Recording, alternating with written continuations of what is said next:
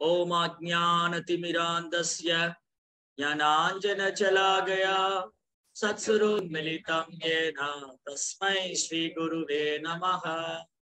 नमो ॐ विष्णुपादाय कृष्णप्रेष्ठाय भूतले श्रीमदे भक्तिवेदान्तस्वामीति नामिने नमस्ते सारस्वति देवे गौरवाणि प्रचारिणे निर्विशेष शून्यवादी पाश्चात देशतारिणे जय श्री कृष्ण चैतन्य प्रभु नित्यानंद श्री अद्वैत गदाधर श्रीवासदि गौर भक्त वृंद हरे कृष्णा हरे कृष्णा कृष्णा कृष्णा हरे हरे हरे राम हरे राम राम राम हरे हरे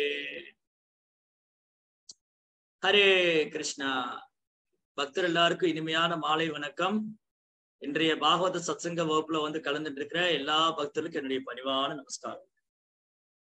ஸ்ரீமத் பாகவதத்தினுடைய முதலாம் ஸ்கந்தம் நான்காம் அத்தியாயம் ஸ்ரீ நாரத முனிவரின் தோற்றம். அதுல இன்னைக்கு படிச்சது கடைசி நான்கு ஸ்லோகங்கள். சரி. இந்த நாலு ஸ்லோகத்திலே நம்ம முக்கியமா கவனிக்க வேண்டியது அதிருப்தி. யாசருக்கு அதிருப்தி. யாச மகரிஷிக்கு அதிருப்தி. அப்போ அதிருப்திங்கிறது ரெண்டு வகையா பிரிக்கலாம். ஒன்று பௌதீகமான அதிருப்தி இன்னொன்று ஆன்மீகத்துல அதிருப்தி. ஆன்மீகத்திலும் பூர்ண திருப்தி எப்ப கிடைக்கும்? பௌதிகத்துல அதிருப்திக்கு திருப்திக்கு வழி இருக்கா? சோ இன்னைக்கு நம்ம எதை பத்தி விவாதிக்க போறோம்னா இன்னைக்கு என்ன எதை பத்தி பேச போறோம்? பௌதிகத்துல முழுமையா திருப்தி அடைஞ்சவங்க இருக்காங்களா? திருப்தி அடைய முடியுமா? பௌதிகத்துல அதிருப்திங்கிறது தொடர்ந்துகிட்டே இருக்கா? ஆன்மீகத்துக்கு போனா அங்கேயும் அதிருப்தி இருக்குமா? ஆன்மீகத்திலையும் பூர்ணமான திருப்தி அடைய முடியுமா? திருப்தி அதிருப்தி எப்பவுமே வாழ்க்கையில மாறி மாறி சில நேரம் திருப்தி அடையிறோம் சில நேரம் அதிருப்தி அடையிறோம். அப்ப ரெண்டு விதமா இருக்கு. முதல்ல இங்க வியாசருக்கு ஏன் அதிருப்தின்னு பார்க்கலாம். அப்புறம் பொதுவா அதிருப்திக்கான வழி என்ன? என்ன செஞ்சா திருப்தி அடையலாம்? இதுதான் இன்னைக்கு வகுப்பு. சரி. வியாச மகரிஷிக்கு ஏன் அதிருப்தி? அவருக்கு என்ன குறை? அவருக்கு என்ன பிரச்சனை?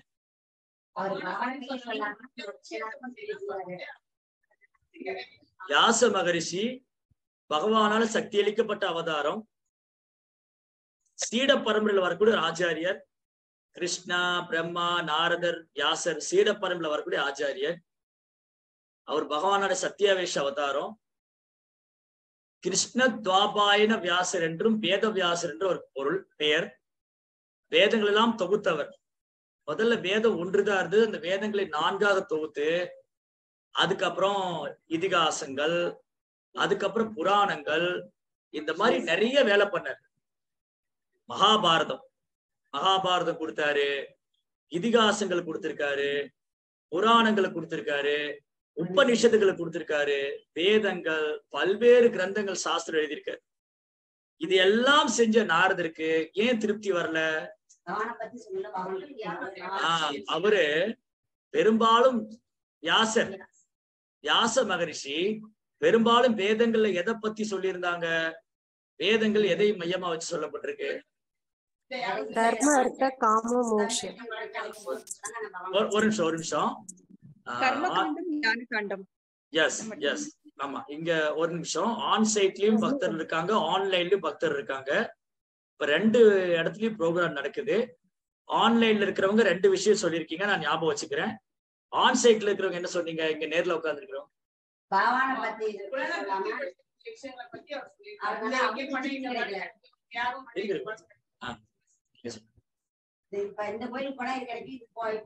அப்ப அது என்னன்னு சொல்லலாம். அது என்னன்னு சொல்லலாம். அது என்னன்னு சொல்லலாம். நீங்க சொல்ற விஷயத்துல ஒரு வரியில என்னன்னு சொல்லலாம். ஒரு வார்த்தையில. இங்க பதில் கரெக்டா சொல்லிட்டாங்க. ஆன்லைன்ல கரெக்டா சொல்லிட்டாங்க. இந்த புலன் திருப்திக்கா கர்மகாண்டம் ஆஹ் அதான் அதான். ஓகே இந்த ஆன்லைன்ல கரெக்டா சொல்லிட்டாங்க. நீங்க இப்போ விளக்கம் கொடுத்தீங்க இல்லையா? புலன் திருப்திக்காக சொன்னாங்க. பலனுக்கு எதிர்பார்த்து செய்ய சொல்றாங்க. இதெல்லாம் ஒரு வார்த்தையில சொல்ல என்னன்னு சொல்லலாம். பலநோக்கு செயல்கள் என்னன்னு சொல்லலாம். அது என்னன்னு சொல்லலாம்? பலநோக்கு செயல்கள் கர்ம காண்டம் சோ கர்ம காண்டம் அப்ப மூணு விஷயம் வியாசர் வந்து வேதத்துல சொல்லியிருக்காங்க. ஒண்ணு கர்ம காண்டம் ஞான காண்டம் உபாசன காண்டம் கர்ம காண்டம் கர்ம காண்டங்கிறது என்னென்ன செயல் பண்ண என்னென்ன புண்ணியம் கிடைக்கும்? என்னென்ன யாகம் பண்ண என்ன பலன் கிடைக்கும்? இந்த யாகம் செஞ்சா என்ன- என்ன பலன்? இந்த புண்ணியகாரங்கள் செய்தா என்ன பலன்? அப்படின்னு கர்ம காண்டம். இந்த இந்த செயலை பண்ணால் எனக்கு என்ன பிரயோஜனம்? இந்த செயல் பண்ணா எனக்கு என்ன பிரயோஜனம்? இந்த யாகம் செஞ்சா எனக்கு என்ன புண்ணியம்? அப்படி பல நோக்கு கர்மம். ஃப்ரூட்டிவ் ஆக்டிவிட்டி இது கர்ம காண்டம். அடுத்தது ஞான காண்டம். அறிவை வளர்த்து கொண்டே போறது. சாஸ்திரங்களை விசாரணை செய்து செய்து செய்து அறிவை வளர்த்து கொண்டு போறது ஞான காண்டம். அப்புறம் உபாசன காண்டம். வழிபாடு முறை. பல்வேறு வழிபாட்டு முறைகள். தேவதை வழிபாட்டு முறைகள் பித்ரு வழிபாட்டு முறைகள் அப்புறம் பல்வேறு வழிபாட்டு முறைகளை பத்தி சொல்லியிருக்காரு இப்படி வியாச மகரிஷி வேதங்கள்ல இந்த மூணு விஷயம் சொல்லியிருக்காரு. அதுக்கப்புறம் முக்கியமா சொன்னது இங்க ஆன்சர் பண்ணாங்க ஆன்லைன்ல தர்ம அர்த்த காம மோட்சம். நாலு முக்கியமான விஷயம். ஒருத்தருடைய தர்மம் என்ன? அந்த தர்மத்தின்படி எப்படி செயல்படுறது? அப்புறம் பொருளாதார முன்னேற்றம் எப்படி அடையிறது? தர்ம அர்த்த காம நம்முடைய ஆசைகளை எப்படி பூர்த்தி பண்ணிக்கிறது? எளிதில் மோட்சத்தை அடையும் இப்படி வியாச மகரிஷி இது வரைக்கும் பேசுனது எல்லாமே இந்த மாதிரி தர்ம அர்த்த காம மோட்சத்தை பத்தி. யார் யார் என்னென்ன செயல் பண்ணணும்? பிராமணருடைய டியூட்டி என்ன? சத்திரியாவுடைய தொழில் என்ன? வியாபாரி வைசியர் எப்படி இருக்கணும்? சூதரர் எப்படி இருக்கணும்? பிரம்மச்சாரி என்ன ஃபாலோ பண்ணணும்? என்ன பின்பற்றணும்? குடும்பஸ்தர் எப்படி இல்லற வாழ்க்கையில் இருக்கணும்? அப்புறம் இல்லற வாழ்க்கையில இருந்து ஓய்வு பெற்றவங்க எப்படி இருக்கணும்? துறவர வாழ்க்கையில இதெல்லாம் எக்ஸ்பிளைன் பண்ணார். இதெல்லாம் அழகா சொன்னார். இதெல்லாம் சொன்ன வியாசருக்கு திருப்தியே ஏற்படல. இதெல்லாம் சொல்லிட்டு இவ்வளவு லட்சக்கணக்கான ஸ்லோகங்கள் ஆயிரக்கணக்கான லட்சக்கணக்கான ஸ்லோகங்கள் எழுதியிருக்காங்க பேசியிருக்காங்க ஆனா திருப்தியாகவே இல்லை. அப்போ ஆஹ், இது ஆன்மீகத்துல அதிருப்தி. யாசருக்கு வந்து அறிவு பற்றாக்குறையினால் அதிருப்தி ஏற்படலன்னு ரோப்பா சொல்றாரு. ரோப்பா என்ன அழகா சொன்னாரு இந்த பொருளுரையில இங்க வியாசருடைய அதிருப்திக்கான காரணம் வந்து அறிவு பற்றாக்குறையினால் அல்ல. அவருக்கு ஏதோ ஒரு ஒரு விஷயம் தவ- தவறுது மிஸ் ஆகுது. Something I did something wrong நான் எல்லாமே பண்ணிட்டேன் ஏதோ ஒண்ணு தவற விட்டுட்டேன். அது என்ன அப்படிங்கிறத யோசி ஏன் எனக்கு திருப்தி ஆகல? இப்போ நீங்க கோயிலுக்கு வந்தீங்க. நான் வந்து உங்களுக்கு கோயில்ல வந்து என்ன பண்ணாங்க? பக்தர்கள்லாம் பிரசாதம் கொடுத்தாங்க.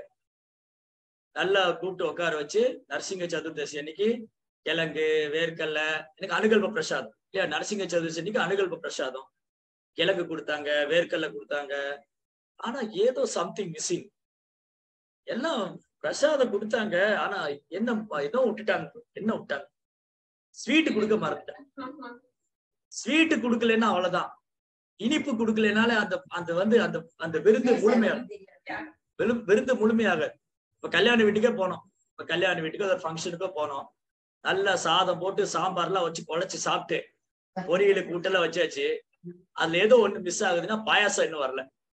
என்னங்க இவ்வளவு பெரிய செலவு பண்ணி பாயாசம் ஊத்தாம விட்டீங்களான்னு என்னதான் விருந்து கொடுத்தாலும் அதுல பாயாசம் இல்லைன்னா என்ன சொல்லிடுவாங்க? அந்த விருந்து முழுமையாகல. இவ்வளவு செலவு பண்ணி ஒரு பாயாசம் கூட கொடுக்காம விட்டாங்க இல்லையா? அதுதான் அது கம்ப்ளீட் ஆகுது. அப்பதான் அந்த விருந்து முழுமையடையும்.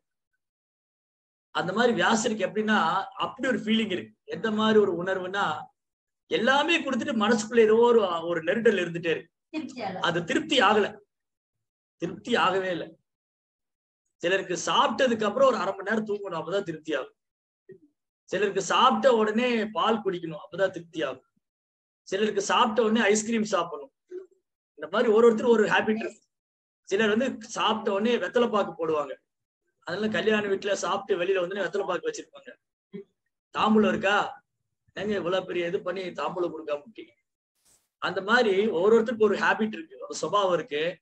அது வந்தாதான் அது கம்ப்ளீட் ஆகுது. அந்த இடத்துக்கு போகும்போது அது முழுமையாகுது. என்ன சாப்பாடு செஞ்சு பப்படம் வரவே இல்லையே. பப்படத்துக்காக ரொம்ப நேரம் உட்காந்து வாங்குறவங்களும் இருக்காங்க. இல்லையா? பப்படம் வரவே இல்லை எனக்கு வடை வரல எனக்கு பாயாசம் வரல. அப்ப அந்த விருந்து முழு இதெல்லாம் இல்லைன்னா அந்த விருந்து முழுமையாகல. ஒரு விருந்துல பப்படம் வடை பாயாசம் இல்லைன்னா அந்த விருந்து முழுமையாகாது. அது போலதான் வியாச மகிழ்ச்சிக்கு எப்படி அதிருப்தி ஆயிடுச்சுன்னா அவர் வேதங்களை தொகுத்தாரு இதிகாசங்களை கொடுத்திருக்காரு உபநிஷதங்கள் கொடுத்து எல்லாம் பண்ணாலும் என்ன மிஸ்ஸிங் ஆகுதுன்னா பகவானுடைய நாம ரூப குணாதிசயங்களை அவர் வர்ணிக்கவில்லை நேரடியா. எங்கேயுமே டைரக்டா நீங்க வேதங்கள் எடுத்து படிச்சீங்கன்னா வேதங்களோ புராணங்களோ உபநிஷதங்களோ எடுத்து படிச்சோம்னா பரமபுருஷோத்தமனான பகவான் ஸ்ரீ கிருஷ்ணனுடைய நாம ரூப குணாதிசயங்களை நேரடியாக வர்ணிச்சிருக்க மாட்டாங்க பிரம்மம் அந்த பரமாத்மா அந்த பரபிரம்மம் அந்த பரம்பொருள் இப்படிதான் இருக்கு. அப்போ வியாச மகரிஷி என்னத்தை தவற விட்டாரு? இப்ப அது அவரே உணர்றாரு. அவர் என்ன உணர்றாரு? அடுத்த ஸ்லோகத்துல அழகா சொல்றாரு. ஆஹ் முப்பத்தி ஒன்னாவது ஸ்லோகத்துல சொல்றாரு. ஆஹ் கிம்பா பாகவதா தர்ம நாப்ராயேன நிரூபிதா பிரியாக பரமஹம்சானாம் தயேவகி அச்சுத பிரிய அச்சுத பிரிய பகவானு பகவான் சாரி பக்குவமடைந்த ஜீவன்களுக்கும் கலங்கமற்றவரான பகவானுக்கும் பிரியமான பகவானின் பக்தி தொண்டை நான் வலியுறுத்தாதது இதற்கு காரணமா இருக்கக்கூடுமோ? இது இருக்கலாமா? அப்படின்னு அவருக்கே தோணிடுது. அது எப்படி தோணுச்சு? வியாச மகரிஷிக்கு வேதங்கள் இதிகாசங்கள் புராணங்கள்லாம் கொடுத்து அதிருப்தியில் இருக்காரு. அப்ப அதுக்கான காரணம் என்னன்னு அவர் இதயத்துல தோணுது. ஒருவேளை நான் பாகவதம் சொல்லாதது காரணமா இருக்கும்னு எப்படி தோணுச்சு? அவர் இதயத்திலே சர்வச்சாகம் விருச்சன்னிவிஷ்டோ சர்வச்சாகம் விருதி சன்னிவிஷ்டோ மத்த ஸ்மிதி ஞானம் அமோகனம் ச. வேதைஷ சர்வே வேதம் எல்லா இதயத்திலும் கிருஷ்ணர் பரமாத்மாவா இருக்காரு. வியாச மகரிஷி இதயத்திலும் கிருஷ்ணர் பரமாத்மாவா இருக்கு இருக்காரு. அவருக்கு தான் ஞாபக சக்தி ஞாபகம் மருதி எல்லாம் கொடுத்தாங்க. இப்ப வியாசர் எல்லாம் பண்ணிட்டாங்க அவருக்கு திருப்தி இல்ல. அப்ப அதுக்கான காரணம் என்னன்னு அவரே யோகிச்சு யோகிச்சாங்க இதுதான் காரணமா இருக்கும். ஒருவேளை இது காரணமா இருக்கலாம். நான் எங்கேயுமே நேரடியா பகவானுடைய நாம ரூப குணாதிசயங்களை சொல்லவே இல்லையே. அத பரமாத்மா காமிச்சு கொடுத்தேன். அப்போ சீடனுக்கு குழப்பம் வந்துருச்சு. சீடருக்கு ஒரு குழப்பம். குரு நம்ம பக்கத்துல இல்ல. குரு ரொம்ப தொலைவுல இருக்காரு. நம்ம பக்தி தொண்டு பயிற்சி பண்றோம். நமக்கு ஒரு சந்தேகம் வந்துருச்சு. அந்த சந்தேகத்துக்கு எப்படி பதில் கிடைக்கும்? இப்போ குரு வந்து ரொம்ப தொலைவுல இருக்காரு. ஆனா பக்தி தொண்டு பண்ணக்கூடிய சீடனுக்கு ஒரு சந்தேகம். அந்த பக்தி தொண்டுல ஒரு சந்தேகமோ ஒரு குழப்பமோ ஒரு ஒரு சின்ன ஒரு ஆஹ் சந்தேகமோ வந்துருச்சு.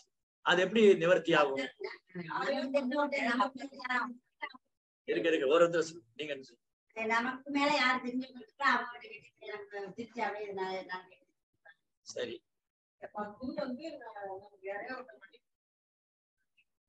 சரி சரி. ஓகே இங்க ஆன்லைன்ல யாராவது சொல்றீங்களா? இப்போ நான் என் குரு வந்து என்கிட்ட ரொம்ப தொலைவுல இருக்காரு. ஆனா எனக்கு ஏதோ ஆன்மீகத்துல ஒரு சந்தேகம் வந்துருச்சு. அது எப்படி சரியாகும் நிவர்த்தி ஆகும் பதில் தெரிஞ்சவங்க கை தூக்கலாம். மூத்த பக்தர்கள் கிருஷ்ணா பிரபுஜி. யா சீனியர் ஒரு- டிவோட்டிஸ் கிட்ட ஒரு நிமிஷம் ஒரு நிமிஷம். ஆஹ் அனிதா மாதேஜ் மூத்த பக்தர்கிட்ட கேட்கணும். சரி ரைட் அடுத்தது. பிரபு சாஸ்திரங்கள்ல படிச்சாலும் தெரிஞ்சுக்கலாம். சாஸ்திரங்கள்ல தெரிஞ்சிரும். சரி ஓகே வேற ஏதாவது இருக்கா? மூத்த பக்தர்கள் கேட்டு தெரிஞ்சுக்கலாம் சாஸ்திரங்களை தெரிஞ்சுக்கலாம். சரி ஓகே தேங்க்யூ சோ பகவத்கீதையில கிருஷ்ணர் ரொம்ப அழகா சொல்றாரு.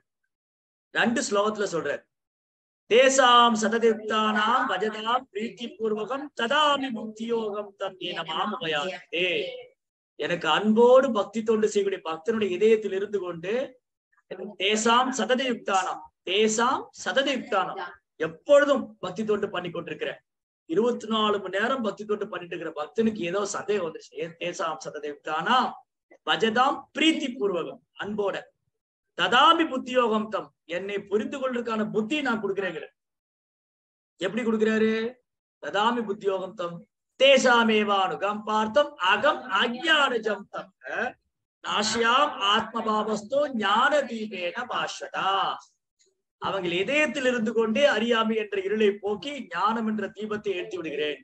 இப்ப கிருஷ்ணா நம்ம இதயத்திலே பரமாத்மா இருக்காரு. நமக்கு சந்தேகம் வரும்போது அது ஹிரதயத்துல உள்ள பகவானை நிவர்த்தி பண்ணுவாரு. ஒருவேளை அது நம்மளால புரிஞ்சுக்க முடியல அந்த அளவுக்கு நம்ம இன்னும் பக்குவம் ஆகல. இதயத்தில் உள்ள பரமாத்மா என்னை வழிநடத்துற அளவுக்கு நான் பக்குவம் ஆகலைன்னா அடுத்தது என்னது? நம்ம சாஸ்திரம் எடுத்து படிச்சுன்னே பதில் கிடைக்கும். சில பக்தர்கள் என்கிட்ட பகிர்ந்திருக்காங்க. பிரபு எனக்கு ரொம்ப நாளா ஒரு சந்தேகம் இருந்தது. பகவத்கீதை படிச்சோன்னு சந்தேகம் போயிடுச்சு. கரெக்டா அதுல பிரபுபார் சொல்லியிருக்காரு. அப்போ ஆஹ் பகவானே இதயத்தில் இருந்து அப்போ பக்தி தொண்டு செய்யக்கூடிய பக்தனுக்கு ஏதேனும் சந்தேகம் குழப்பம் ஏற்பட்டு விட்டால் அவர் ஹிருதயத்தில் இருக்கும் பகவானே அதை சரி செய்து விடுகிறார். இல்லை என்றால் சாஸ்திரம் மூலமாக சரி செய்து விடுகிறார். அந்த இதயத்தில் இருக்கும் பரமாத்மா வெளியில ஆன்மீக குருவா இருக்காரு. ஆன்மீக குருவும் பரமாத்மா வேறு வேறு இல்ல. பரமாத்மாவுடைய எக்ஸ்பான்ஷன் தான் ஆன்மீக குரு. அப்போ இன்னைக்கு ஆன்மீக குரு எப்படி வேணா நம்ம தொடர்பு கொள்ளலாம். நம்ம ஆன்லைன்ல வந்து மெயில் போடலாம் வாட்ஸ்அப் மெசேஜ் அனுப்பலாம் அந்த மாதிரி ஆன்மீக குருவை தொடர்பு கொள்ளலாம். பக்கத்துலதான் இருந்து இருக்கணும் ஆனா இன்னொரு விஷயம் என்னன்னா நம்ம குரு மேல ரொம்ப விசுவாசமா இருந்தோம்னா அவரு வந்து அப்படியே கிளியர் பண்ணிடுவாரு. எப்படி சரி பண்ணிடுவாரு? அது எப்படியாவது பக்தர்கள் மூலமா நமக்கு தெரிஞ்சிடும். இல்ல மூத்த பக்தர்கிட்ட போய் கேட்டோம். குருவோடைய பிரதிநிதியா இருக்கு. குரு வந்து பகவானின் பிரதிநிதியா இருக்காங்க. ஆன்மீக குருவானவர் பகவானின் பிரதிநிதியா இருக்காரு. ஆன்மீக குருடைய பிரதிநிதியாக மூத்த பக்தர்கள் இருக்காங்க. நம்மளை யார் வந்து குரு குருட்ட அழைச்சிட்டு போனாங்களோ தீட்சை வாங்கி கொடுத்தவங்க நம்மளை சீக்ஷா குருன்னு சொல்லுவாங்க சீக்ஷா குருனா வழி ரெண்டு குரு இருக்காங்க. சீக்ஷா குரு தீக்ஷா குரு. இந்த சீக்ஷா குரு என்ன பண்ணுவாங்க? அவங்க வந்து நம்மளை வழி நடத்துவாங்க. இல்ல இல்ல இது இப்படிதான் புரிஞ்சுக்கணும். இந்த அர்த்தத்தை தான் பிரபுபா சொல்லியிருக்காங்க. இதை இப்படி புரிஞ்சா நீங்க புரிஞ்சுக்கலாம். அப்படின்னு சீக்ஷா குரு வழி நடத்தும் தீக்ஷா குருவே சீக்ஷா குருவா இருப்பாரு தீக்ஷா குருவா இருப்பாரு. சீக்ஷா குரு அதாவது தீட்சை வழங்கக்கூடிய குருவே வழியும் நடத்துவார். அதுக்கப்புறம் நம்ம நம்ம வந்து இஸ்கானுக்கு அழைச்சிட்டு வந்து நமக்கு பக்தி சொல்லி கொடுத்து ஆன்மீக குருட்டு அழைச்சிட்டு போன அந்த மூத்த பக்தர்கள் அவங்களுடைய வழிகாட்டுதல் இருக்கு. என்னைக்குமே பக்தி பாதையில நமக்கு மேல ஒரு மூத்த பக்தர் எப்பவுமே இருக்கணும். நமக்கு எப் நமக்கு மேல எப்பவுமே நம்மை வழி நடத்துறது. இல்ல நான் வந்து நானா தெரிஞ்சுக்குவேன் நானா படிச்சு புரிஞ்சுக்குவேன் எனக்கா எல்லாம் புரிஞ்சிரும் கிருஷ்ணர் எனக்கு எல்லாம் வரி விளக்க வச்சிருவாரு அப்படிலாம் எடுத்துக்கூடாது. ஏன்னா நம்ம இன்னும் பக்தியில ஆரம்ப நிலையில தான் இருக்கும். நம்ம பக்தியில ஆரம்ப நிலையில இருக்கிறதுனால நமக்கு எப்பவுமே மூத்த பக்தருடைய வழிகாட்டுதல் வேணும். இத்தனைக்கு பாருங்க நாரத வியாச மகரிஷி பகவானால சக்தி அளிக்கப்பட்ட அவதாரம். வியாச மகரிஷி ஒரு தன்னை உணர்ந்த ஆத்மா. வியாச மகரிஷி வேதங்கள்லாம் தொகுத்தவர். அவருக்கே அதிருப்தி ஆயிடுச்சு. அவருக்கே திருப்தி இல்ல. அப்ப அதற்கான காரணம் என்னன்னு ஒரு கேள்வி வரும்போது அவரு இதா இதுவா இருக்கலாம். இதுதான் ஒரு முடிவு பண்ணல. இதுவா இருக்கலாம்னு நினைக்கும் போது அவர் குரு மகாராஜ் அங்க வரார் நாரத முனிவர் அங்க வரார் நாரதர் வந்த உடனே எழுந்து சாஷ்டாங்கமா நமஸ்காரம் செய்து அவரை வழிபாடு செய்து பூஜைகள் செய்து நாரத முனிவருக்கு தக்க ஆசனம் அளித்து அவரை வழிபடுகின்றார். இந்த லீலை நடந்த இடம் வந்து பத்ரிகா ஆசிரமத்துல இருக்கு. இமாலயத்துல பத்ரிகா பத்ரிநாத்ல மேல அப்பர் பத்ரியில போனா பானான்னு ஒரு குகை இருக்கு. சரஸ்வதி ஆற்றங்கரையில. அங்கதான் வியாச மகரிஷியோட குகை இருக்கு. அங்க சரஸ்வதியில குளிச்சுட்டு வியாசர் உட்கார்ந்து தவம் செய்யும் போது அப்படி பகவானை தியானம் செய்யும் போது அவருக்கு என்ன ஆயிடுச்சு? அவருக்கு இந்த மாதிரி என்னடா ஏதோ சம்திங் ராங் ஏதோ ஒரு பூர்த்தி இல்லாத திருப்தி இல்லாத மாதிரி அப்போ ஆன்மீக பாதையில ஆன்மீக பாதையில ஈவன் வியாச மகரிஷிக்கே அதிருப்தினா அப்போ இன்னைக்கு ஆன்மீக பாதையை பயிற்சி பண்றவங்கள நம்ம மூணு வகையா பிரிக்கலாம். ஆன்மீக விஷயங்களை பயிற்சி பண்றவங்கள மூன்று வகையா பிரிக்கலாம். யார் யார என்னென்னவா பிரிக்கலாம்? இல்ல பக்தர்கள் மூன்று வகை இல்ல. ஆன்மீகங்கள்ல மூணு வகை. பதில் தெரிஞ்சவங்க ஆன்லைன்ல இருக்கிறவங்க கை தூக்கலாம். ஆன்லைன்ல இருக்கிறவங்க கை தூக்குங்க. ஆன்மீகவாதிகளே மூணு வகையா பிரிக்கலாம். இங்க யாருக்கா தெரியுமா? பதில் தெரிஞ்சா கை தூக்கு. இப்படின்னா டவுட் இருக்குன்னு அர்த்தம். இப்படின்னா உறுதின்னு சொல்லாமா வேண்டாமா சரியா தப்பா? ஓகே. இங்க மூணு பேர் கை தூக்கி இருக்காங்க நோக்கியா டு மாதாஜி? ஹரே கிருஷ்ண பிரபு சிக்ஷா குரு தீக்ஷா குரு. ஆ இல்ல இல்ல இல்ல. ஸ்ரீதேவி மாதாஜி. பிரம்ம நிலையை அடையிறவங்க பிரபு பரமாத்மா நிலையை அடையிறவங்க பகவான் நிலையை அடையிறவங்க. ஓகே அவங்கள என்னன்னு சொல்லலாம்? பிரம்ம நிலையை அடையிறவங்க என்ன சொல்லலாம்? அனுபவவாதிகள் யோகா பயிற்சி பண்றவங்க. கடைசியா நம்மள மாதிரி பக்தி பயிற்சி பண்ணி பக்தி யோகம். மூலமா நீங்க- நீங்க இவ்வளவு சுத்தி எல்லாம் வளைக்க வேண்டாம். தெளிவா பதில் சொன்னா யோகிகள் ஞானிகள் பக்தர்கள். அவ்வளவுதான். ஒரே வார்த்தையில சொன்னா ஞானிகள் யோகிகள் பக்தர்கள். இவங்க மூணு பேருமே ஆன்மீகவாதிகள் தான். ஞானிகளும் ஆன்மீகவாதிகள் தான். யோகிகளும் ஆன்மீகவாதிகள் தான் பக்தர்களும் ஆன்மீகவாதிகள் தான் சரி இவங்க மூணு பேருமே இறைவனை எப்படி உணர்றாங்க? அதுக்கு பதில் தெரிஞ்சு கை தூக்கலாம். சரி நான் ஒரு நாள் கேள்வி கேட்கிறேன். ஒரு ஒருத்தருக்கு ஒரு ஒரு சான்ஸ் ஞானிகள் வந்து இறைவனை எப்படி உணர முயற்சி பண்றாங்க? பதில் தெரிஞ்சும் கை தூக்கும் ஆன்லைன்லயும் சரி ஆன் சைட்ல ரெண்டு பேர். இங்க நேரா இருக்கிறவங்களும் சரி ஆன்லைன்ல இருக்கிறவங்களும் சரி ஞானிகள் வந்து இறைவனை எப்படி அறிய முயற்சி பண்றாங்க? ரெண்டு பேர் கை தூக்கி இருக்காங்க இங்க யாருக்கு தெரியும் வேதங்கள் சாஸ்திரம் இல்ல ஞானிகள் ஒரே ஓகே நீங்க முதல்ல டிஸ்கஸ் பண்ணிக்கிங்க. ஐயமா மாதாஜி நீங்க சொல்லுங்க. ஹரேஷ்ண பிரபு பகவான் வந்து ரூப வடிவத்துல இல்ல அபிராமி மாதாஜி. பிரம்ம ஜோதி Prabhu. Okay Anita Mataji. Anita Mataji. Hare Krishna Hare Krishna Prabhuji. So second வந்து யோகிஸ் வந்து பரமாத்மா. நோ நோ நோ ஒரே கேள்விதான் கேட்டிருக்கேன். ஞானிகள் இறைவனை எப்படி அடைய முயற்சி பண்றாங்க இறைவனை என்னவா பிரம்மஜோதி. பிரம்மஜோதி. தேங்க்யூ தேங்க்யூ இங்க பை என்ன முடிவு knowledge of spiritual scriptures yeah thank you Mataji thank you இங்க என்ன முடிவு பண்ணிருக்கீங்க ஞானிகள் இறைவனை எப்படி அடைய முயற்சி பண்றாங்க?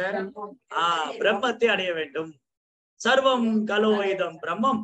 எல்லாம் பிரம்மத்துல வந்தது எல்லாம் பிரம்மத்துல முடியுது. அப்போ சரி சரியான பதில் சொன்னவங்களால ரொம்ப நன்றி. தவறா சொன்னவங்க பரவாயில்ல ஒண்ணும் தப்பு இல்ல தெரிஞ்சுக்கிட்டோம். சரியா? அப்போ ஞானிகள் வந்து இறைவனை பிரம்மமாக அறிய முயற்சி பண்ற இறைவனுக்கு ரூபம் கிடையாது. அவர் உருவமற்றவர். அவர் ஒளி வடிவானவர். ஜோதி வடிவானவர். எங்கும் எங்கும் வியாபிச்சிருப்பவர் அப்படின்னு இறைவனை வந்து தோன்றா ரூபத்துல ஞானிகள் முயற்சி பண்றாங்க. அவங்களும் ஆன்மீகவாதிகள் தான். அவங்களும் மது அருந்துறது இல்ல மாமிசம் சாப்பிடுறது இல்ல தகாதுறவு பண்றது இல்ல சூதாடுறது இல்ல அவங்க கடினமா தவம் பண்றாங்க சாஸ்திரங்களை விசாரணை பண்றாங்க. அவங்களும் ஞானிகள் வந்து இறைவனை பிரம்மஸ்வரூபமா அடைய முயற்சி பண்றாங்க. சரி. அவங்களுக்கு ஒரு வகையான ஆனந்தம் கிடைக்கும். அது அப்படி இருக்கட்டும். ரெண்டாவது டிஸ்கஸ் பண்ணுவோம். ரெண்டாவது யோகிகள்லாம் இறைவனை எப்படி அடைய முயற்சி பண்றாங்க? இறைவனை என்னவா அணுகுறாங்க யோகிகள்லாம்? பதில் தெரிஞ்சும் கைத்து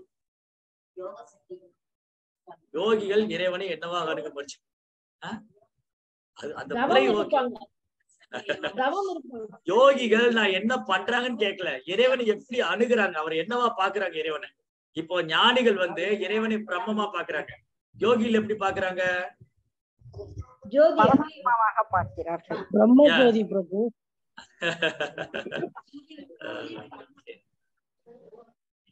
பதில் தெரிஞ்சும் கை தூக்கும் இங்க டிஸ்கஸ் பண்ணி முடிவு பண்ணிட்டீங்களா? யோகிகள் இறைவனை எப்படி அடைய முடிச்சு இல்ல?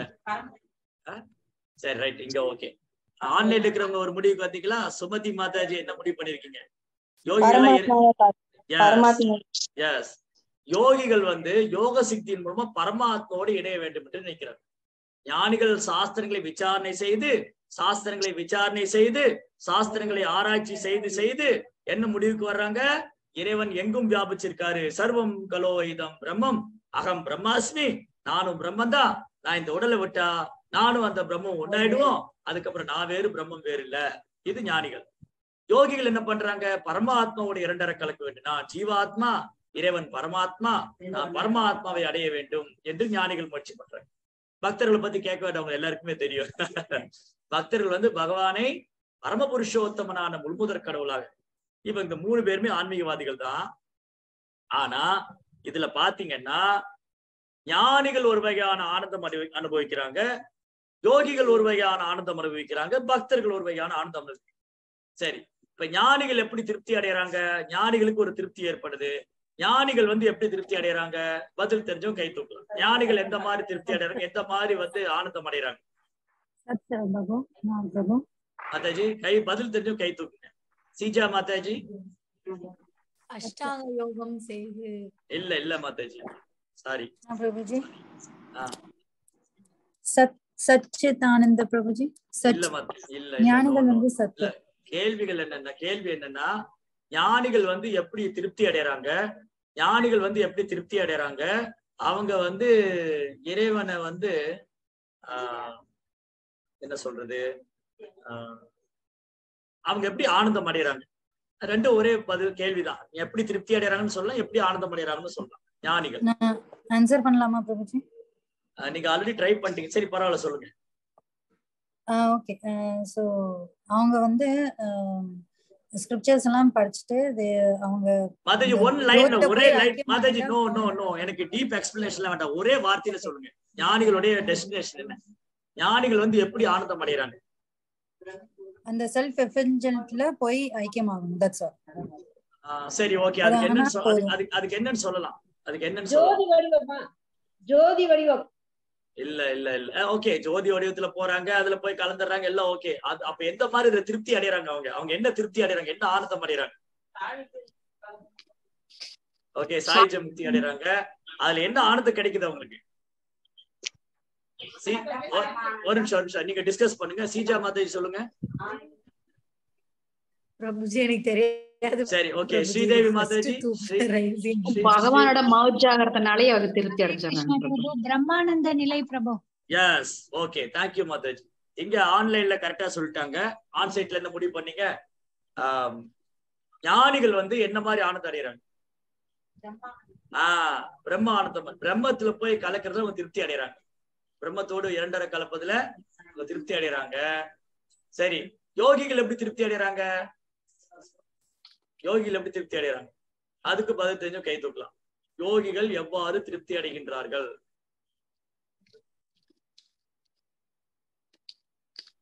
ஓகே ஆன்சைட்ல சொல்றீங்களா? யாராவது. பரமானந்த நிலை பிரபுஜி.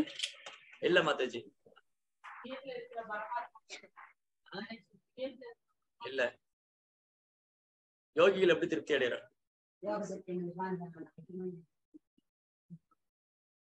சொல்லுங்க அப்படி தெளிவா சொல்லுங்க. சொல்ல வர விஷயம் தெளிவா ஓகே ஆன் சைட்ல ஆன்லைன்ல ரெண்டு பேர் கை தூக்கி இருக்காங்க நோக்கியா மாதாஜி தெரியுமா?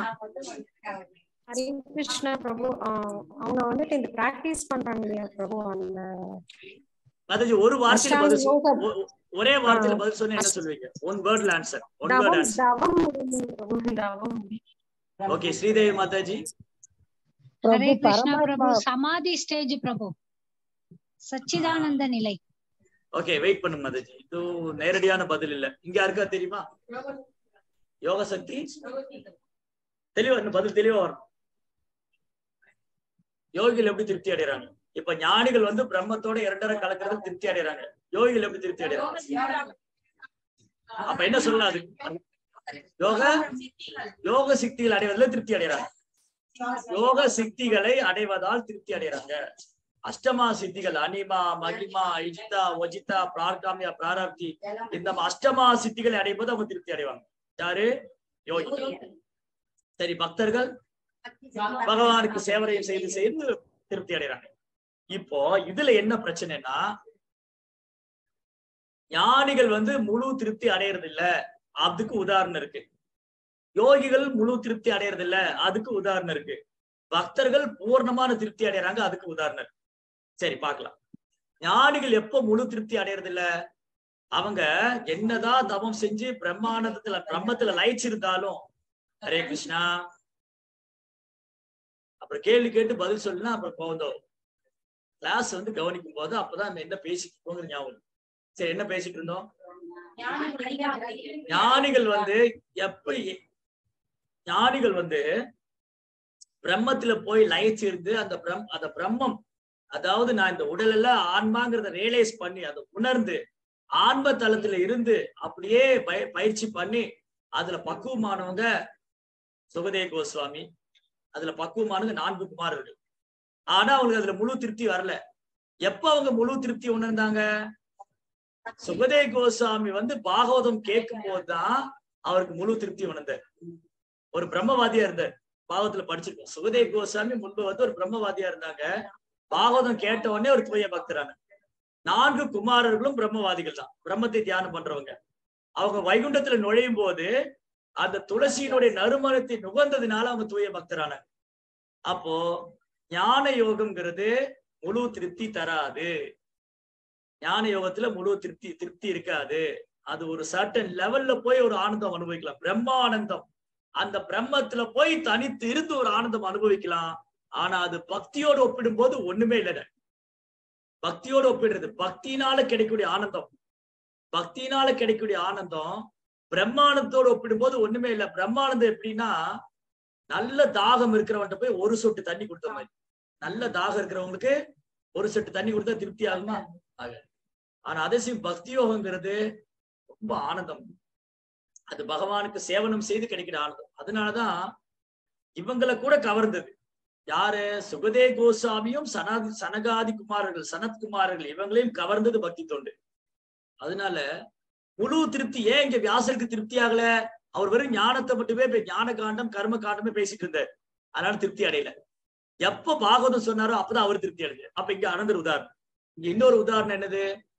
வெறும் பிரம்மவாதத்தை நினைத்து பிரம்மவாதத்துல லயத்திருந்த பிரம்மத்தில் லயத்திருந்த சுகதே கோஸ்வாமி நான்கு குமாரர்கள் வியாச மகரிஷி இவங்க யாருமே திருப்தி ஆகல. அவங்க பக்தி பாதைக்கு வந்த போதுதான் முழு திருப்தி அடைஞ்சாங்க. அவங்க அப்பதான் முழு திருப்தி அடைந்தாங்க. அதனால ஞான மார்க்கம் முழு திருப்தி தராது. ஞான மார்க்கத்துல ஒரு லெவலுக்கு வே- ஒரு ஒரு குறிப்பிட்ட வரை ஒரு ஒரு ஒரு சா ஒரு சம ஒரு சமாதானம் இருக்கும். ஞான யோகத்தை பயிற்சி பண்ணா ஒரு அமைதி நிதானம் ஒரு சமாதானம் இருக்கும். ஆனா ஆத்மாவுக்கு முழு சந்தோஷம் கிடைக்குமான்னு கேட்டா இல்ல. ஏன்னா பக்தி தொண்டுக்கு வராத வரைக்கும் ஆத்மாவுக்கு முழு சந்தோஷம் கிடைக்காது. பக்தி தொண்டுங்கிற பாதைக்கு வராத வரைக்கும் ஆத்மாவுக்கு முழு சந்தோஷம் கிடைக்காது. அப்ப ஞான யோக பாதை கூட ஆன்மாவுக்கு முழு திருப்தி தராது. அதனாலதான் வியாசருக்கு திருப்தி இல்ல. சுகதேவ் கோசாமி பக்தி பாதைக்கு வந்தாங்க. குமாரர்கள் பக்தி பாதை ஏத்துக்கிட்டாங்க. சரி அடுத்தது. அஷ்டமா சித்தி. எட்டு சக்திகளை பெ- பெற்றவங்க. அஷ்டமா சித்தியை பெற்றவங்க முழு திருப்தி அடைஞ்சாங்களா? அதுல முழு திருப்தி அடையாததுக்கு யாரோ ஒரு உதாரணம் சொல்லுங்க அஷ்டமா சித்திகளை எடுத்துக்கிட்டு அதுல முழு திருப்தி அடையவே இல்லை. யாரு? அஷ்டமா சித்திகளை பெற்றாங்க. கடினமா தவம் செஞ்சு இரவு பகல் வெயில் குளிர் மழை எதுவுமே பொருள்படுத்தாம கடினமா தவம் செஞ்சு அஷ்டமா சித்திகளை பெற்றார். ஆனா திருப்தியாகவே இல்லை. யாரு?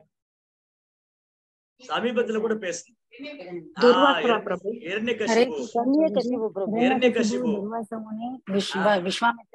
ஹரே கிருஷ்ணா. யார் யார் பேரெல்லாம சொல்றீங்க? இரண்யகசிபு தான் அஷ்டமா சித்தியை பண்ணார். துர்வாச முனி வந்து ஒரு ஒரு ஞானி. ஒரு ஞானி துர்வாச முனி நீங்க சொன்ன வேற யாரெல்லாம் சொன்னீங்களே? அவங்க எல்லாம் ஞானிகள். இரண்யகசிபு அஷ்டமா சித்திகளையும் பெற்றார். கடினமா தவம். கடினமா தவம் இருந்து இரவு பகலா தூங்காம சாப்பிடாம புலன்களை கட்டுப்படுத்தி காலுடைய கட்டை விரல் குதியில நின்னு ரெண்டு கையும் மேல தூக்கி தவம் செஞ்சாரு. அஷ்டமா சித்திகளை கிடைச்சு அஷ்டமா சித்திகளையும் பெற்ற எண்ணெய் திருப்தி அடைஞ்சாரா? திருப்தி அடையவே இல்லை. மூன்று உலகத்தை ஜெயிச்சாரு. திருப்தி அடைஞ்சாரா? திருப்தி அடையல. ராவணன் எண்ணெய் பிரம்மாவை குறிச்சு தவம் பண்ணாரு. பிரம்மாவை குறிச்சு தவம் பண்ணி மூன்று உலகத்துக்கு சக்கரவர்த்தியான ஒரு திருப்தி ஆகல. பாகவதத்துல இருக்கு ஏழாவது கண்டத்துல படிச்சீங்கன்னா எண்ணெய் கஷிப்புக்கு எல்லாமே இருந்து ஆனா திருப்தி ஆக திருப்தி அடையவே இல்லை. அதே மாதிரி ஆஹ் ராவணன்.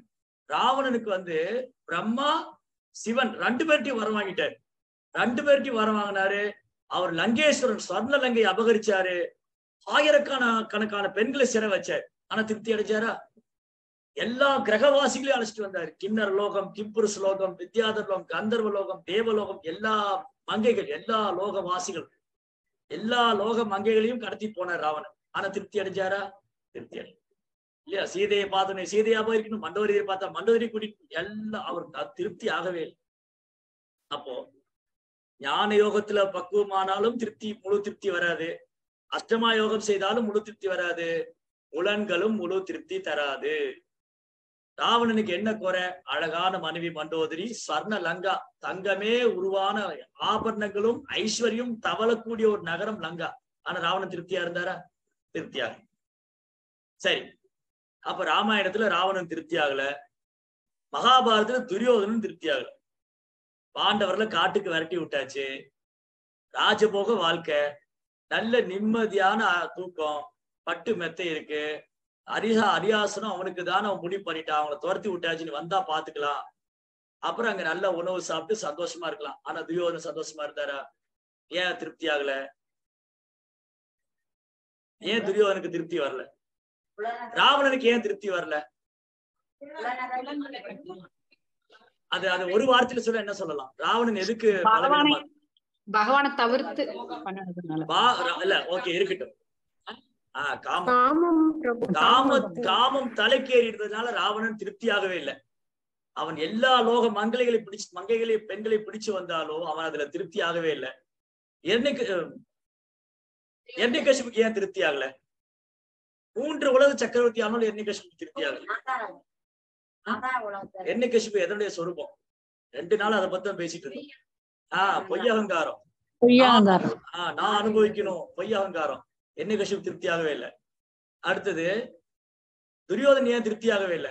அரண்மனை வாழ்க்கை ஆடம்பரமான வாழ்க்கை ராஜபோக உணவு நல்ல பட்டு வஸ்திரம் எல்லா பாண்டவருக்கு ஒண்ணுமே இல்லை எல்லாத்தையும் வாங்கியாச்சு. பாண்டவர்கிட்ட ஒண்ணுமே இல்லை. அவங்க பிச்சைக்கார மாதிரி தோத்தி விட்டாங்க காட்டுக்கு. துறவி மாதிரி ஆடை அணிஞ்சு போட்டுக்கெல்லாம் கழட்டி விட்டுட்டு துறவி மாதிரி ஆடை அணிஞ்சு அவங்க காட்டுக்கு போனாங்க. துரியோதனுக்கு அப்படி இல்ல. அங்க அரண்மனை என்ன வசதி என்ன ஆனா திருப்தி இல்ல. ஏன்? வராம. ஒருத்தர் ஒண்ணுன்னு சொல்லாதீங்க. பொறாமைதான் காரணம். ஆண்டவர்கள் மேல பொறாமை. அட இவங்களை காட்டுக்கு அமிச்சாச்சு. பேசாம நீங்க சந்தோஷமா இருக்கலாமே. அங்க காட்டுல சந்தோஷமா இருக்க கூடாதுன்னு நினைச்சேன். அது கூட சமீபத்துல பேசணும். இல்லையா? சமீப கிளாஸ்ல பேசணும் இல்லையா? துர்வாசர் போய் காட்டுக்கு அமிச்சு அவங்கள வந்து சபிக்க வைக்கணும். அக்ஷய திருதியனுக்கு அது பேசணும். அக்ஷய பாத்திரம் வந்து திரௌபதி சாப்பிட்டாங்கன்னா அது இந்த கதை எல்லாரும் கேட்டது. ஆனா மறந்து மறந்து போகும். அதான் பிரச்சனையே. அப்ப என்ன நடந்துச்சு? துரியோதனுக்கு அரண்மனையில நல்ல ஆடம்பரமான வாழ்க்கை இருக்கு. சரி பாண்டவர்கள் வனவாசம் முடிச்சு வரட்டு பாத்துக்கலாம். அவங்களா துரத்தி விட்டாச்சு நீ அனுபவிக்க வேண்டியதுதானே? ஆனா அனுபவிக்க முடியல. ஏன்னா அந்த பொறாமைங்கிறது அவ்வளவு ஆழமா ஒரு இதயத்துல பதிஞ்சிருக்கு. காட்டுல கூட அவங்க நிம்மதியா வாழக்கூடாதுன்னு நினைச்சு. காட்டுக்கு விரட்டி விட்டா கூட அங்க கூட அவங்க நிம்மதியா வாழக்கூடாது அப்படின்னு நினைச்சாரு. அதனால என்ன பண்ணாரு? அஸ்திராபுரத்துக்கு விருந்தாளியா வந்த துர்வாசருக்கு பயந்து பயந்து பணிவடையெல்லாம் பண்ணி அவருடைய கருணையை பெற்று அவர் கேட்டாரு துரியோதனா உனக்கு என்ன வரம் வேணும்? ஐயா என் சகோதரர்கள்லாம் காட்டுல இருக்காங்க. அங்க போய் அவங்கள ஆசீர்வாதம் பண்ணுங்க. எவ்வளவு கருணை பாத்தீங்க? எவ்வளவு கருணை. அது என்ன? திரௌபதி சாப்பிட்டதுக்கு அப்புறம் போங்க. துர்வாசுக்கு தெரியா துர்வாசன் பிரம்மவாதி. அவர் தபத்தினால கண்டுபிடிச்சாரு. துரியோதனுடைய மனசுல என்ன இருக்கு? ஆனா துரியோதனுக்கு வரம் கொடுக்குறேன்னு சொல்லிட்டாரு நீ என்ன வரம் வேணும் கேளு. எனக்கு இதான் வரம். போய் பாண்டவர்ல ஆசீர்வாதம் பண்ணுங்க. அது திரௌபதி சாப்பிட்டதுக்கு அப்புறம் போங்க. அப்படின்னு என்ன ஆகும் இவர் போய் நிப்பாரு. இவர் பாத்தீங்களா? இவர் போய் நிப்பாரு. அவங்களால ஒண்ணும் செய்ய முடியாது. இவர் சபிச்சிருவாரு அவங்கள இறந்து அப்ப எனக்கு எதிரியே இருக்க மாட்டாங்க. திடீர்னு ஒரு நாள் வந்து ராஜ்யத்தை கேட்டா என்ன பண்றது? இல்லையா? இதுதான் துரியோதன். அப்போ துரியோதன் நிம்மதியா இல்ல. அப்ப ஏன் ஏன் வந்து இன்னைக்கு மக்களுக்கு இந்த உலகத்துல ஏன் மக்களுக்கு அதிருப்தி? திருப்தியே வரமாட்டேங்குது எதுலயும் எதுலயுமே திருப்தி இல்ல. என்னதான் மனைவியை பார்த்துட்டாலும் மனைவிக்கு திருப்தி வரமாட்டேங்குது. என்னதான் கணவனுக்கு பணிவிடை செய்தாலும் கணவனுக்கு திருப்தி வர என்னைக்கா ஒரு நாள் ஒரு கணவர் சொல்லுவாரு இன்னைக்கு தோசை ரொம்ப நல்லா இருந்தது. இன்னைக்கு குருமா ரொம்ப நல்லா இருந்தது. சொல்லவே மாட்டேன் சரி மனைவிதான் நீங்க இவ்வளவு நாள் கல்யாணம் பண்ணி கூட வந்திருக்கேன். ரொம்ப சந்தோஷமா என்ன வச்சுக்கிட்டு இருக்கீங்கன்னு சொல்லுவாங்களா? சொல்ல மாட்டேன் எந்த மனைவியும் கணவனை புகழ்ந்து பேசுறதுக்கு ரொம்ப அபூர்வமா தான் பேசுவாங்க. இல்லையா? ஏன்னா இந்த உலகத்துல யாரையுமே முழுமையா திருப்திப்படுத்தவே முடியாது. அது காரணம் என்னது? புலன்களை திருப்திப்படுத்தவே முடியாது.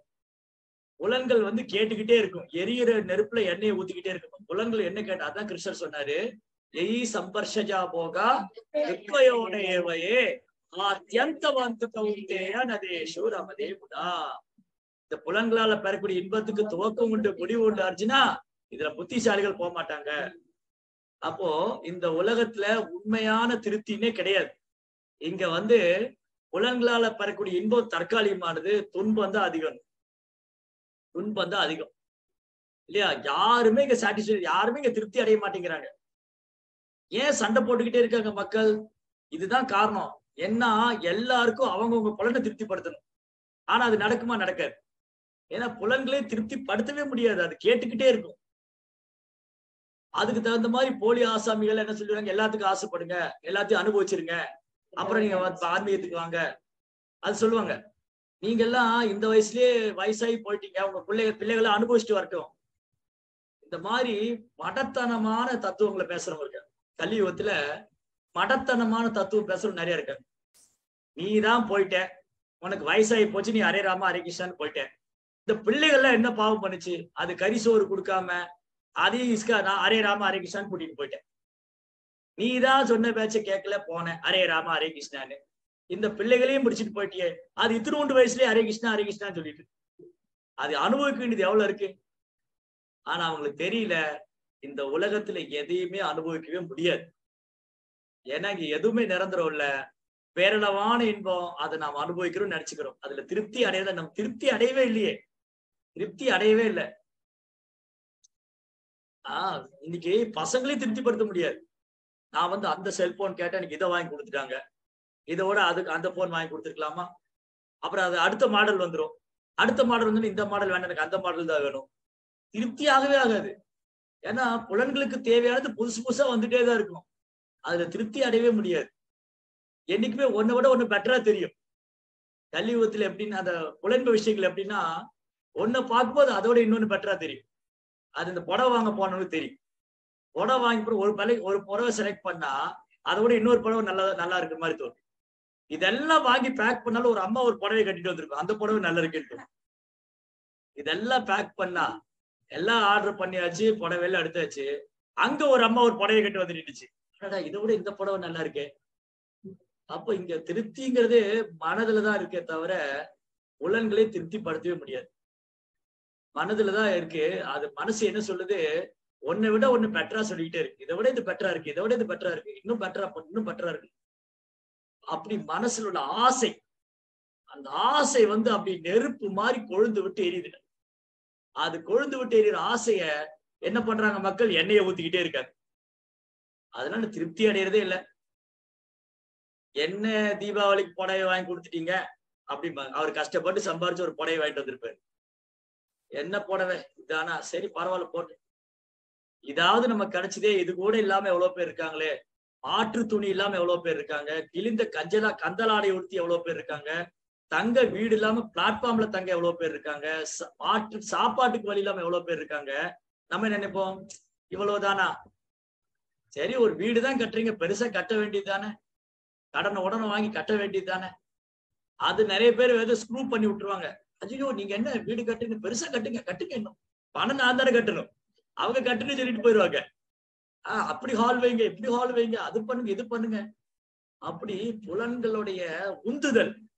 புலன்களில் உந்துதலால புலன்களுக்கு அடிமையா இருக்கிறதுனால பெரும்பாலான மக்கள் இன்னைக்கு திருப்தி அடையறதே இல்லை.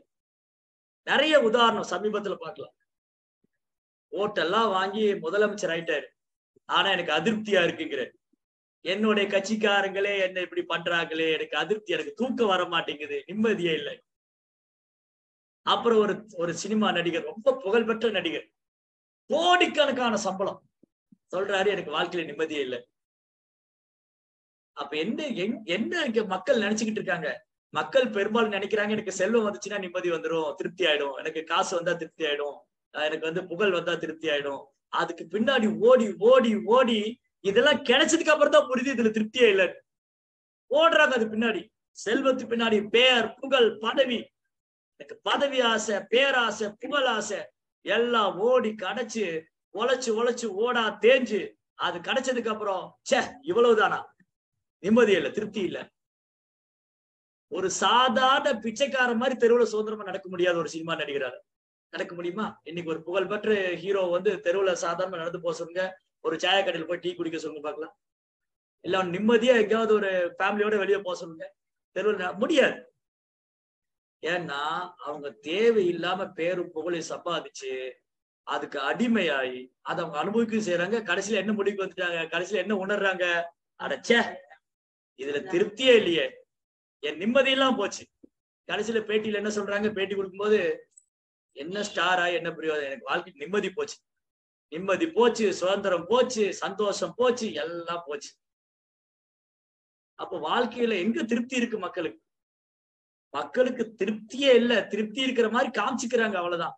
ஒவ்வொருத்தரும் நீங்க கேளுங்களேன் நல்லா இருக்கீங்களா? நல்லா இருக்குன்னு சொல்லுவாங்க. உண்மையில நல்லா இருக்காங்களா? இல்ல. நீங்க யார வேணாலும் கேளுங்க. போன் எடுத்தோடனே நல்லா இருக்கேன். நீங்க எப்படி இருக்கீங்க? நல்லா இருக்கீங்க ஆனா இதெல்லாம் பொய் தான்.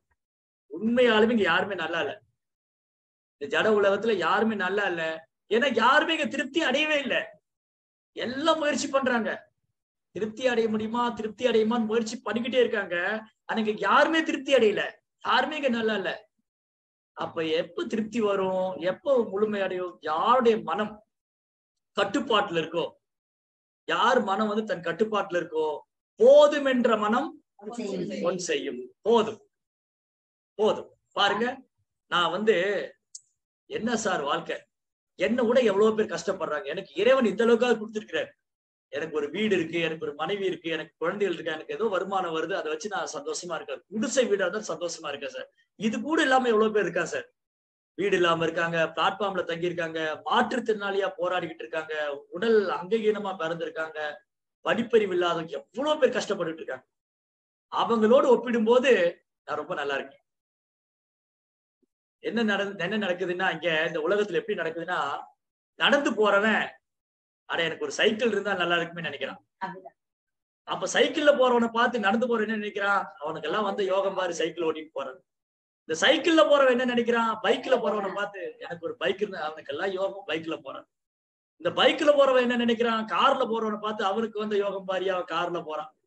கார்ல போறவன் ஆகாசத்துல பிளைட்ட பாக்குறான் பிளைட்ல போறான். அவனுக்கு வந்து யோக விமானத்துல போயிட்டு இருக்காரு ஆனா இவங்க யாருமே திருப்தியே இல்ல. எல்லாரும் ஓடிக்கிட்டு தான் இருக்காங்க.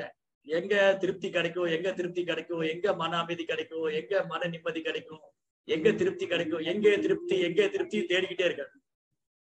ஆனா ஒரே இடத்துலதான் கிடைக்கும். அது பகவான் கிட்ட மட்டும்தான் கிடைக்கும். ஆத்மா சுப்பரஷிததி புலன்களை திருப்திப்படுத்த முடியாது. சரி மனதையா திருப்திப்படுத்தல மனதையும் திருப்திப்படுத்த முடியாது. மனம் மேலும் மேலும் மேலும் எண்ணங்கள் வந்துகிட்டே இருக்கு. மனதையும் திருப்திப்படுத்த முடியல. புலன்களையும் திருப்திப்படுத்த முடியல. அதான் கஷ்டப்படுது அப்போ ஒரே வழி என்னது? ஒரே வழி நான் இறைவனை திருப்திப்படுத்த வேண்டும். நான் இறைவனை திருப்தி செய்தால் நான் திருப்தி அடைந்து விடுவேன். இதுதான் தாரக மந்திரம். நம்ம வந்து இன்னைக்கு தெரிஞ்சுக்க வேண்டிய முக்கியமான விஷயம் என்னன்னா ஆச்சாரியர் சொல்லி கொடுத்திருக்கிறது பகவானை திருப்திப்படுத்தினா நாம் திருப்தியும். யஸ்மின் துஷ்டே ஜெகத் துஷ்டம். கிருஷ்ணா ஒரு பருக்கி எடுத்து சாப்பிட்ட உடனே இல்லையா? அந்த துர்வாச முனிவர் வந்தாங்க அங்க பத்தாயிரம் சீடரோட அந்த ஒரே ஒரு பருக்கி தான் அந்த அக்ஷய பாத்திரம் ஒட்டின்னு இருந்தது. அந்த ஒரு பருக்கி எடுத்து கிருஷ்ணா சாப்பிட்டு ஜெகமே திருப்தி ஆயிடுச்சு. பிரபஞ்சமே திருப்தி ஆயிடுச்சு. அப்ப என்ன அர்த்தம்? கிருஷ்ணா திருப்தி அடைந்தால் பகவான் திருப்தி அடைந்தால் அனைத்து திருப்தி அப்ப பகவானை திருப்திப்படுத்துவதுதான் பக்தி தொண்டு. பக்தி தொண்டு ஏன் பக்தர்கள் சந்தோஷமா இருக்காங்க? என்ன சார்? ஆனா பௌதிகமா பார்த்தா கஷ்டப்பட்டு இருப்பாங்க சில வேலையில பக்தர்களுக்கு வசதி இருக்காது. பெரிய அளவு குடும்பத்துல ஒண்ணும் பெரிய அளவுல வியா வருமானம் இல்ல. ஆனா ரொம்ப சந்தோஷமா இருப்பாங்க. சுதாமா கிட்ட ஒண்ணுமே இல்ல. எவ்வளவு சந்தோஷமா இருக்கு சுதாமா கிட்ட அடுத்த வேலைக்கு சாப்பாடு இல்ல. அடுத்த மாற்று துணி கிடையாது. சுதாமாவுக்கு மாற்று துணி இல்ல. சாப்பாடு நல்ல ஆகாரம் சாப்பிட்டு வருஷங்கள மாசம் ஆயிடுச்சு. குழந்தைகள்லாம் பசியில கட்ட கஷ்டப்படுது. ஆனா சந்தோஷமா இருக்கு ஏழை பிராமணர். எப்படி திருப்தியா இருந்தாரு? அவர் பகவானே நினைச்சிட்டு இருந்தார். அவருடைய மனம் வந்து திருப்தியா இருக்கு. ஏழைங்கிறது அவருக்கு மனசுல இல்லவே இல்லை. ஏன்னா அவர் பௌதிகமா ஏழை இல்லை. அவர் ஆன்மீகத்துல செல்வந்தரா இருக்காரு. கிருஷ்ணரையே நினைச்சுக்கிட்டு இருக்காரு. அதனால கிருஷ்ணாவை நினைச்சிட்டு இருந்ததுனால அவருக்கு வாழ்க்கையில அதிருப்தியே இல்லை. அதிருப்தியே இல்லை. சிறந்த உதாரணம். சுதாமாவுக்கு வந்து வாழ்க்கையில என்னைக்கோ அதிருப்தின்னு சொல்லியிருக்காரா? எனக்கு வாழ்க்கையில் நிம்மதியே இல்ல. ஏன் கிருஷ்ணா இப்படி கஷ்டப்பட வைக்கிறீங்க? எனக்கு சாப்பாடு கூட வழி இல்லையே. கேட்க சொல்லி கூட போய் கேட்கல. இல்லையா? போய் கேட்க சொன்னாங்க. ஆஹ் மனைவி சொன்னாங்க போய் உங்க நண்பர் தானே கிருஷ்ணர் தானே போய் கேளுங்க. ஆனா கேட்க வந்தவர் கேட்கவே இல்லையே. கிருஷ்ணரை பாக்குறதுக்காக அது ஒரு வாய்ப்பை பயன்படுத்திக்கிட்டேன் சுதாமா என்ன பண்ணாரு? நான் ஏன் போய் கிருஷ்ணாட்ட கேட்கணும்? நான் கிருஷ்ணரை பார்க்கணும். பகவானை பார்த்து வருஷங்கள் ஆயிடுச்சு. பால்ய சிநேகிதர்கள் குழந்தையில பார்த்தது. அப்ப இந்த வாய்ப்பை பயன்படுத்தி கொண்டு கிருஷ்ணரை தரிசனம் செய்யறதுக்கு தான் சுதாமா போனாரே தவிர கிருஷ்ணாட்ட கேட்க போகல. அப்போ அவர் ஒருவேளை அதிருப்தியா இருந்திருந்தாருன்னா சுதாமாவுக்கு இந்த வாழ்க்கையை பிரக்தி ஆயி ச்சே என்னடா வாழ்க்கை? ஏழ்மை வறுமை மாற்று துணி இல்ல நல்ல ஆகாரம் இல்ல கிருஷ்ணா. என்னை ஏன் இப்படி சோதிக்கின்றாய்? அப்படின்னு அழுது புலம்பிருப்பாரா ஆனா ஏன் சுதாமா அதை செய்யல? சுதாமா தன் இதயம் முழுதும் பகவானை நினைத்து கொண்டிருந்தனால அவருக்கு இந்த பௌதிக சுமை சுமையாகவே இல்லை. அதனால அவர் பாதிப்படையவே இல்லை. பலி மகராஜ் வந்து மூன்று உலகத்தையும் வாமனர் அபகரிச்சிட்டாரு. பலி அபி அதிருப்தி அடைஞ்சாரா? பலி திருப்தி அடைஞ்சாரு. யார் எங்கிட்ட இருந்து எடுத்துட்டாரு? பகவானே வந்து எடுத்துட்டாரு. அப்ப பகவான் பகவான் எங்கிட்ட வந்து இது இது இந்த இந்த பிரபஞ்சம் என்ற மூ இந்த மூன்று உலகம் பகவானுடையது. அவர் போய் எங்கிட்ட யாசக பேட்டு வந்திருக்காரு. அப்ப நான் எவ்வளவு பாக்கியம் பண்ணிருக்கேன் இது அவருடையதான் ஈசாவாசம் இதம் சர்வம் அனைத்தும் பகவானுடையது. அப்படி இருக்கும்போது நான் யார் அதை கொடுக்கறதுக்கு? பகவானே எடுத்துக்கிட்டாரு. இனி என்ன கேட்டாரு பகவான்? மூணாவது அடி எங்க வைக்கிட்ட ரெண்டு அடியில எல்லாத்தையும் எடுத்துட்டாரு. சலயசி விக்ரமனே பலி மத்புதவா மனபதன கணீர ஜனித ஜத பாவன். கேசவது தா வாமன ஜெய ஜெகதீஸ்வரே பகவான் வாமன அவதாரம் செஞ்சு பலியை ஏமாத்திட்டாரு. அவரை ஏமாத்தி குள்ள பிராமண ரூபத்துல போய் மூணு அடி நிலம் கேட்டு ரெண்டு அடியில எல்லாத்தையும் வாங்கிட்டாரு. மூணாவது அடி எங்க வைக்கிறார் பலி அதிருப்தி அடைஞ்சாரா? கிருஷ்ணா விஷ்ணு என்னை ஏமாத்திட்டீங்களே. நீங்க நேருக்கு நேரா என் கூட வந்து யுத்தம் பண்ணிருக்கலாம். ஏன் என்ன பிராமண இப்படியெல்லாம் ஒரு வார்த்தை பேசல பலி. அப்படியே சரணாகதி பண்ண கஷ்டப்பட்டு போயிட்டேன்னு அழுதாரா? பலி பெருமைப்பட்டார் பலி என்ன பெரும் இத்தனைக்கு குரு சொல்றதை மீறி கொடுத்தார் குரு சொல்றாரு வந்திருக்கிறது விஷ்ணு கொடுக்காத. சுக்கராச்சாரிய சொல்றாரு பலிமாரா பலி. வந்திருக்கிறது யாரு? விஷ்ணு. பிராமண ரூபத்துல வந்திருக்காரு. உங்ககிட்ட இருந்து எல்லாத்தையும் பிடிக்கிடுவாரு. கொடுத்துடாதன்னு. குருவோடைய வார்த்தையை மீறி கொடுத்தாரு. அவர் சொன்ன மாதிரி எல்லாத்தையும் பகவான் எடுத்துட்டார். எடுத்து அவரை வருண பாசன கட்டி அவரை கைது பண்ணி ஒரு ஒரு ஒரு விலங்கு அடைச்சி வைக்கிற மாதிரி கைது பண்ணி நிறுத்தி வச்சிருக்காரு. அப்ப கூட பலிமாரா டிஸ்டர்ப் ஆகவே இல்லை. அவர் அதிருப்தி அடையவே இல்லை. அவர் என்ன திருப்தி அடைஞ்சாரு? பகவானே என் முன்னாடி வந்து கேட்டிருக்காங்க. நான் என்ன பாக்கியம் பண்ணிருக்கேன்? இந்த சரீரம் இந்த ஆன்மா உடல் எல்லாம் பகவானுக்கு சொல்றாங்க ஆத்ம நிவேதன் அப்படியே பலி தன்னை பகவான் ஒப்படைச்சிட்டேன் அதனால உண்மையான திருப்தி ஒரு பக்தனிடமிருந்து ஒரு தூய பக்தரிடமிருந்து பகவான் ஏதேனும் பறித்து கொண்டாலும் அந்த பக்தன் அதிருப்தி அடைவதில்லை. ஒரு பக்தனுக்கு பகவான் என்ன கொடுத்தாலும் அவன் அதில் திருப்தி அடைந்து தலகால் புரியாம ஆடுறதும் இல்லை அவன் நிறைய கிடைச்சிருக்கேன்னு திருப்தி அடைகிறதும் இல்ல. கிடைக்கலையேன்னு வருத்தப்படுறதும் இல்ல. சில நேரங்கள்ல பக்தர்கள் சொல்றது உண்டு. சில நேரம் என்ன சொல்லுவாங்க சத்சங்கத்துல வந்துட்டு பிரபு நிறைய சேவை பண்ணிட்டு இருப்பாங்க. நான் ஒண்ணுமே செய்யல பிரபு. என் ஒரு எனக்கு திருப்தியே ஆக மாட்டேங்குது. நான் பகவானுக்கு சேவை பண்ணிக்கிட்டே இருக்கேன் எனக்கு திருப்தியே ஆகல. ஆனா நிறைய சேவை பண்ணிட்டு இருப்பாங்க. அது அவங்க பணிவுனால சொல் பணிவுனால பகவான் மேல ஒரு அன்புனால நான் என்ன பண்ணிட்டே போறோம் நான் இன்னும் நிறைய பண்ணணும் பகவானுக்கு. அப்ப பாருங்க பக்தர்கள் நிறைவடைறதே இல்லை. பகவானை பற்றி கேட்பதிலும் பாடுவதிலும் நிறைவடைறதில்லை விஸ்தேராத்னாத் யோகம் விபூதிம் ச ஜனார்தனா பூயகதே கதை சொன்னதோ நாஸ்திமே அமிர்தம். கிருஷ்ணனுடைய கதைகளை கேட்கறதுல பக்தர்கள் கலைப்படைறது இல்ல நிறைவடையறது இல்ல. அச்சுன்னு சொல்லிக்கிட்டே இருக்கேங்கிறாங்க நம்ம என்ன டைம் பார்த்துட்டு இப்ப எப்ப முடியும்? இல்லையா? ஏழே முக்காலாக போது இன்னும் உபன்யாசம் முடியல. ஆறுல இருந்து ஏழுல இருந்தா சொன்னாங்க. கால் மணி நேரம் எக்ஸ்ட்ரா போயிட்டு இருக்கு. ஆனா அர்ஜுன் என்னன்னு சொன்னாரு? அதுல திருப்தி அடையவே இல்லைன்னு அப்ப பக்தர்களும் திருப்தி அடையறது இல்ல. எதுல? பகவான லீலைகளை கேட்பதுல அவங்க மேலும் மேலும் கேட்டுக்கொண்டே இருக்க வேண்டும். பாடிக்கொண்டே இருக்க வேண்டும். பேசிக்கொண்டே இருக்க வேண்டும். சேவனம் செய்து கொண்டே இருக்க வேண்டும். அதுல பேரானந்தம் அதிகரித்து கொண்டே இருக்கின்றது. பகவானை பற்றி பேச பேச கேட்க கேட்க பாட பாட அவரை பற்றி பிரச்சாரம் செய்ய செய்ய என்ன ஆகுது? அது அதிகரிச்சுக்கிட்டே இருக்கு. அவங்க நிறைவடைகிறதே இல்லை. நிறைவடைகிறதே இல்லை. அதனால இங்க யாரு உண்மையாலுமே திருப்தி அடைறாங்க? இந்த மூன்று உலகத்துல வச்சு இந்த பூலோகத்துல மட்டுமல்ல இந்த பூலோகத்துல மட்டுமல்ல மூன்று உலகத்திலும் யாரு முழு திருப்தி அடைறாங்கன்னா பக்தர்கள் மட்டும்தான் முழு திருப்தி அடையும் பக்தி தொண்டு பாதை ஏற்றுக்கொண்டால் மட்டும்தான் பகவானுடைய நாம ரூப குணாதிசயங்களை கேட்பதால பாடுவதால் அவருக்கு சேவனம் செய்வதால மட்டும்தான் ஆத்மாவுக்கு முழு திருப்தி. ஏ ஆத்மா சுப்ரசீததி.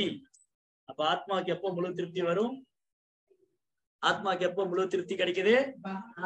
ஆஹ் பகவானுக்கு தூய பக்தி தொண்டு செய்வதால மட்டும்தான் முழு திருப்தி வரும். அதனாலதான் இங்க வியாச மகரிஷி இதெல்லாம் செய்து கூட அவர் தன் மனதை வெற்றிடமாக உணர்கின்றார். அவர் திருப்தி அடையவில்லை. வேதங்கள் புராணங்கள் நாம் தொகுத்து